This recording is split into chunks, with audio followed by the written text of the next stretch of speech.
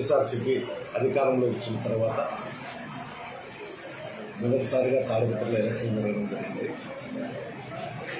ఈ ఎలక్షన్లు ఎంత ప్రశాంతంగా జరిగిందో అది జిల్లా వ్యాప్తంగా అందరికీ తెలిసిన విషయం.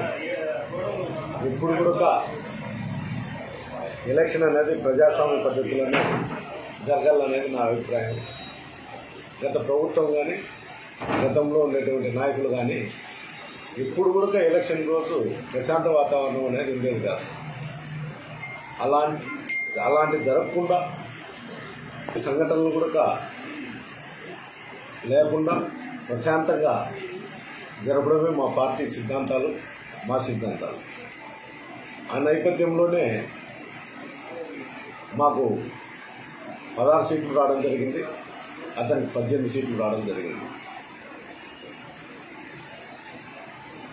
అతను క్యాంప్ ఎత్తకపోయి ఓన్లీ ఫ్యామిలీ మెంబర్స్ అందరినీ అతని క్యాంపులోనే పెట్టుకొని సభ్యులు మాత్రమే తాడిపత్రికి తీసుకొచ్చి ఇక్కడ ఎవరున్నా కానీ మీరు పొరపాటున వైఎస్ఆర్సీపీకి మద్దతు తెలిపితే మీ బంధువులందరినీ ఆడున్నారు మీ తల్లిదండ్రులు మీ భర్తలు అందరూ వాళ్ళని అతమార్చే ప్రయత్నం చేస్తా అని చెప్పడం జరిగింది. అంతేకాదు అతని ఎలక్షన్ల ముందు ఐదు మంది చైర్మన్లు సంవత్సరానికి ఒకసారి చైర్మన్ మారుస్తా ఐదు మందిని వైస్ చైర్మన్లు చేస్తా కులాలకు అతీతంగా చేస్తామని చెప్పడం జరిగింది. కానీ అతని ఎలక్షన్లో మెజార్టీ వచ్చిన తర్వాత అతని కుట్రలు కుతంత్రాలు కూడా బయట ఉన్నాయి. అతను పదవి లేని బతికే లేని పరిస్థితి ఈరోజు ఎందుకంటే ఎంతసేపు అధికారం ఉండాలా? అధికారాన్ని అడ్డం పెట్టుకొని దౌర్జన్యాలు హింసాత్మక కార్యక్రమాలు చేయాలనేది అతని ఆలోచన. ప్రజలు ఇప్పటికైనా మమ్మల్ని తిరస్కరించిన దానికి మేము బాధపడడం లేదు. ఏ నాయకుడు ఏ విధంగా ఉండాలనేది ఒకసారి ఆలోచన చేస్తే మంచిది. అతను ఎన్ని అబద్ధాలు అన్నాడు? సేవ్ తాడిపిత్రుడే సేవ్ తాడిపిత్రు కాదు కానీ సేవ్ చేసి అన్నింటి వరకు బాగుంటుంది మా కుటుంబాన్ని మమ్మల్ని మీరు కాపాడి మీరు ఇబ్బందులు గురవుతారండి అనే ఉద్దేశం తప్ప రెండోది లేదు. అంతేకాదు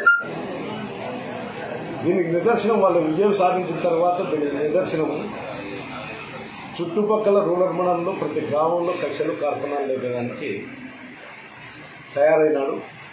రెండు రోజుల నుండి కూడా గంగాదేపల్లి గ్రామంలో చిన్న చిన్న సంఘటనలు జరుగుతూ ఈరోజు హత్య చేయడానికి కూడా ప్రయత్నం చేసి తీవ్ర గాయాలతో కూడా పడడం జరిగింది. ఇతనికి అధికారం ఉంటే ఎంత దూరమైన పోగలుగుతాడనేది నా నమ్మకం అంతేకాదు మేము ఇప్పుడు చెప్తున్నాము చైర్మన్గా అతను అయినప్పుడు కూడా మమ్మల్ని అడిగితే తాడిపత్రి అభివృద్ధి కోసం మేము కృషి చేస్తామని కూడా చెప్పడం ఈ వీడియో నచ్చితే ఓ లైక్ కొట్టండి లేకపోతే కామెంట్ చేయండి. బట్ సబ్స్క్రైబ్ చేయడం మాత్రం మర్చిపోకండి.